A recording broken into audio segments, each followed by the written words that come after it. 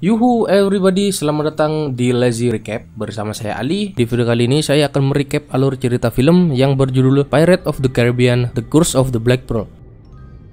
Film ini dirilis pada tahun 2003 dan dibintangi oleh Johnny Depp sebagai Jack Sparrow, Orlando Bloom sebagai Will Turner, Keira Knightley sebagai Elizabeth Swan, Geoffrey Rush sebagai Hector Barbosa, dan masih banyak lagi. Sebelum masuk ke recap filmnya, seperti biasa saya akan kasih spoiler warning terlebih dahulu. Mungkin ada dari kalian yang belum nonton film ini.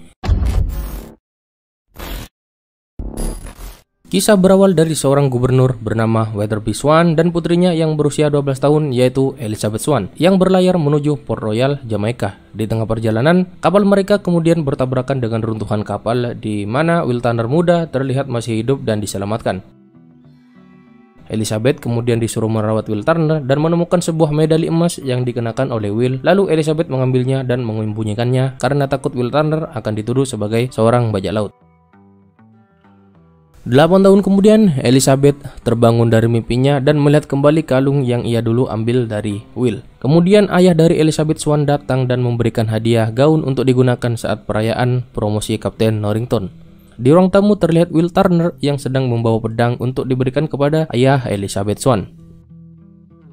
Scene beralih ke seorang pelaut yang menaiki perahu yang sudah hampir tenggelam, berlabuh tepat di pinggir jembatan. Dialah kapten tercinta kita yaitu Jack Sparrow yang berencana mencari kru dan mencuri kapal untuk berlayar. Di tempat upacara kenaikan Kapten Norrington, Elizabeth terlihat dilamar oleh Kapten Norrington, seorang pejabat dari British Royal Navy. Namun karena gaunnya yang sangat sempit dan membuat Elizabeth gak bisa bernafas, Elizabeth pun pingsan dan terjatuh. Ia kemudian ditemukan dan diselamatkan oleh Jack Sparrow yang baru saja tiba di Port Royal. Namun setelah menyelamatkan Elizabeth, Norrington menyadari bahwa Jack adalah seorang bajak laut dan dia menangkapnya.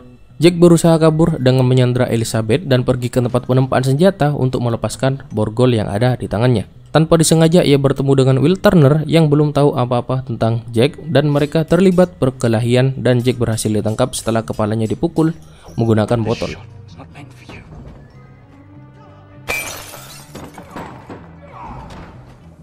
Malam harinya, sebuah kapal bajak laut yaitu Black Pearl yang sekarang dipimpin oleh Kapten Barbosa menjawab panggilan yang bersumber dari medali emas yang dikenakan Elizabeth.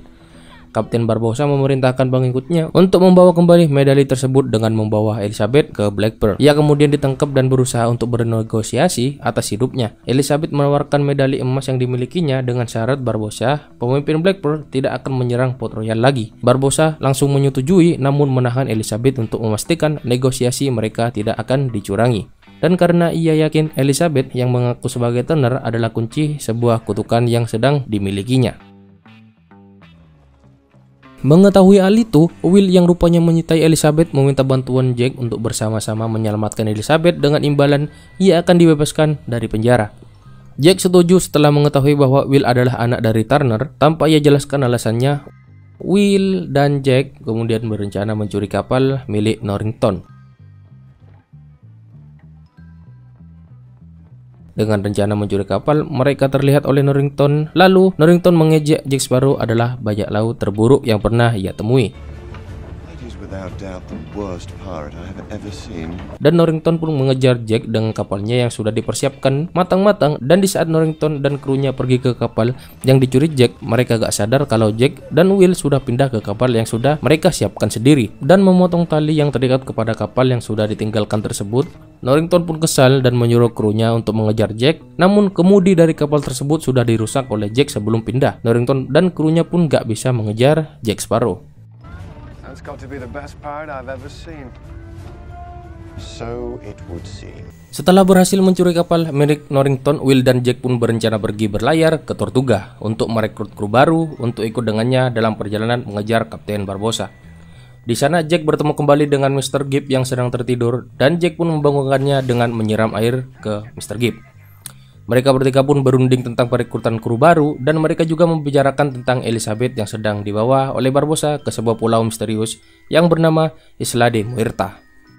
Scene beralih ke kapal Black Pearl di mana Barbosa menceritakan kutukan yang ada di dalam dirinya dan para krunya di mana pada saat mereka terkena sinar bulan, tubuh mereka bakal hanya tersisa tulang. Untuk menghilangkan kutukan tersebut yang mereka butuhkan ialah koin dan darah dari pemilik koin tersebut. Mendengar perkataan yang disebut oleh Kapten Barbosa, Elizabeth pun panik dan berusaha untuk kabur. Dan kemudian dikejar oleh kru dari kapal tersebut dan sekaligus mereka menunjukkan kutukan yang benar-benar ada di dalam tubuh mereka.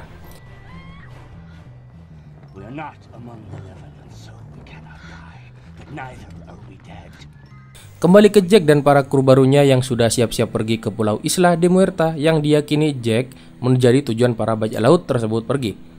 Di perjalanan, Jack menceritakan sejarah hidupnya kepada Will. Jack Sparrow dulunya adalah kapten dari Black Pearl, namun suatu ketika posisinya digeser oleh Barbosa yang mengasingkannya di sebuah pulau. Hal ini dilakukan Barbosa setelah Jack berbagi informasi mengenai peti yang berisikan koin emas Aztec yang tersembunyi di mana Barbosa dan krunya pun menemukan dan menggunakan harta karunnya, namun rupanya koin Aztec tersebut telah dikutuk dan membuat Barbosa serta seluruh krunya terkena kutukan menjadi makhluk setengah abadi dan berbentuk tengkorak. Satu-satunya cara untuk membatalkan kutukan tersebut adalah dengan mengembalikan semua koin ke dalam peti bersama setetes darah setiap bajak laut yang menggunakan harta karun tersebut. Salah satu anggota bajak lautnya ialah William Turner. Sin berpindah ke Kapten Barbosa dan para krunya yang sudah sampai duluan di Pulau Isla de Muerta dan mereka langsung membawa Elizabeth ke dalam pulau yang di dalamnya ada harta karun yang dulu mereka ambil sampai membuat mereka mendapatkan kutukan tersebut. Barbosa langsung membawa Elizabeth ke tempat koin itu berada dan langsung mengambil darah dari Elizabeth dan melempar koinnya kembali ke tempat asalnya.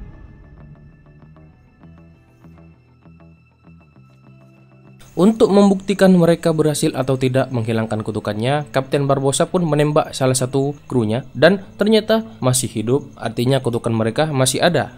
Barbosa dan para krunya masih belum tahu kalau pemilik koin tersebut bukanlah Elizabeth, melainkan Will Turner. Disusul dengan Jack dan para krunya yang baru sampai di Isla de Muerta. Jack dan Will langsung berpencar dan menyusup ke dalam tempat Barbosa berada. William yang melihat Elizabeth terkapar di bawah, ia langsung membawanya pergi dan menjauh dari pulau tersebut. Sedangkan Jack Sparrow tertangkap oleh Barbosa dan Jack berencana dibunuh tapi tidak jadi karena Jack tahu pengangkatan kutukannya tidak berhasil karena salah orang. Dan Jack sendiri tahu siapa pemilik koin tersebut. Di sini Jack bernegosiasi dengan Kapten Barbosa, dia akan memberitahu siapa pemilik asli dari koin tersebut dan juga membantu untuk mengangkat kutukannya asalkan dia tidak dibunuh dan Kapten Barbosa pun langsung menyetujui hal tersebut. Kemudian Jack dan Barbosa pun mengejar kapal yang dibawa oleh Will Turner dan Elizabeth. Di dalam pengejaran, Jack mengusulkan rencana bahwa gak perlu ada pertempuran, biar dia sendiri yang pergi ke kapal yang dibawa oleh Will dan Elizabeth. Namun Barbosa tidak setuju dengan rencana Jack dan menyuruh krunya untuk mengurung Jack sedangkan Barbosa berencana untuk langsung menyerang kapal yang dibawa oleh Will sama Elizabeth.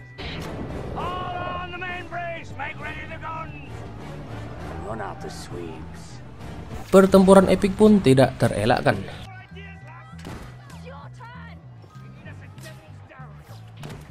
Medali yang tadinya ada di tangan Elizabeth sekarang sudah didapatkan kembali oleh kera milik Kapten Barbosa. Di tempat lain terlihat Will yang terjebak di dalam kapal yang berusaha untuk keluar. Barbosa pun meledakkan kapal yang di dalamnya masih ada Will yang terjebak.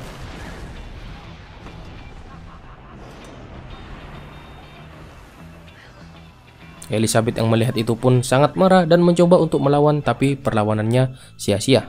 Kemudian dengan mengejutkan Will Turner muncul dan mendorongkan pistol ke Kapten Barbosa lalu mengancamnya. Barbosa yang mendengarkannya pun tertawa karena satu peluru tidak akan bisa membunuhnya karena dia masih memiliki kutukan yang bisa membuat mereka menjadi tengkorak. Ternyata Will bukan berencana untuk menembak Barbosa, melainkan dia ingin menembakkannya ke dirinya sendiri. Will langsung mengaku kalau dia adalah William Turner dan dia adalah pemilik dari koin yang bisa mengangkat kutukan yang ada di dalam tubuh Kapten Barbosa dan para krunya. Will Turner pun bernegosiasi dengan meminta imbalan Elizabeth dan para krunya dibebaskan. Barbosa langsung menyetujui permintaan tersebut. Namun Kapten Barbosa berbohong, Elizabeth dan Jack dilempar ke laut dan ditinggalkan di pulau terpencil. Di pulau tersebut ternyata Jack tahu tempat penyimpanan minuman yang bernama ram, sejenis minuman yang memabukkan. Jack dan Elizabeth pun meminum ram tersebut sampai malam. Jack dan Elizabeth pun tertidur. Di pagi harinya, Jack yang baru bangun tidur terkejut melihat ramnya yang dibakar oleh Elizabeth. Jack yang kesal pun pergi meninggalkan Elizabeth. Jack yang sedang melihat-lihat keadaan ternyata melihat kapal yang dibawa oleh Kapten Norrington datang bersama orang tua Elizabeth dan krunya untuk menyelamatkan Elizabeth. Sedangkan Jack Sparrow ditangkap kembali oleh Kapten Norrington.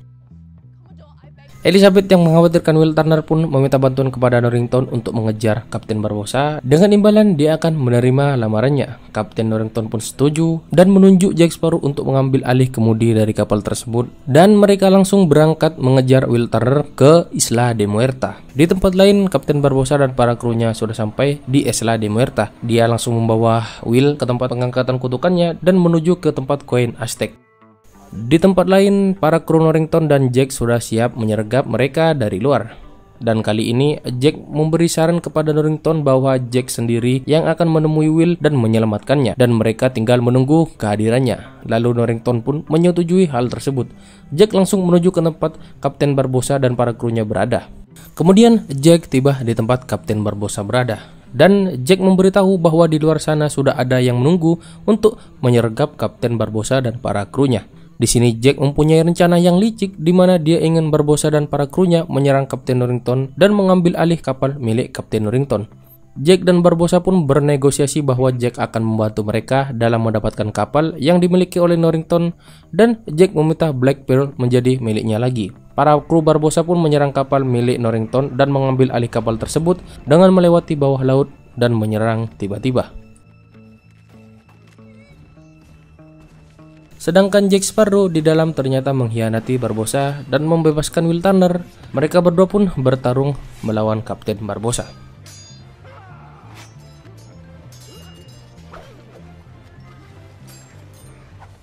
Dalam pertempuran, Jack tertusuk pedang oleh Kapten Barbosa. Dengan mengejutkannya, dia tidak mati, melainkan dia dapat menjadi tengkorak seperti Kapten Barbosa. Dikarenakan dia sebelum bertarung mencuri koin yang ada di tempat harta karun yang membuat dia mendapatkan kutukan yang sama seperti Kapten Barbosa dan para krunya.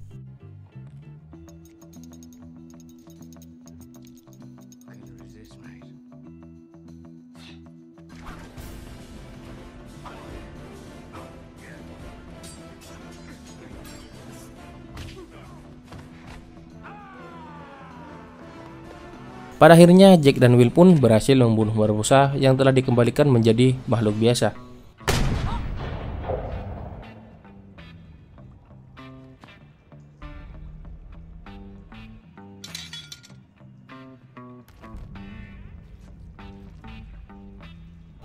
dan para krunya pun juga kalah melawan Kapten Norrington dikarenakan mereka juga kembali ke makhluk biasa. Jack Sparrow pun merebut kembali posisi kapten di kapal Black Pearl miliknya. Di ending, Jack Sparrow ternyata ditangkap oleh Kapten Norrington dan Jack kembali dihukum gantung dan pada saat mau dieksekusi, Will Turner datang untuk menyelamatkan Jack.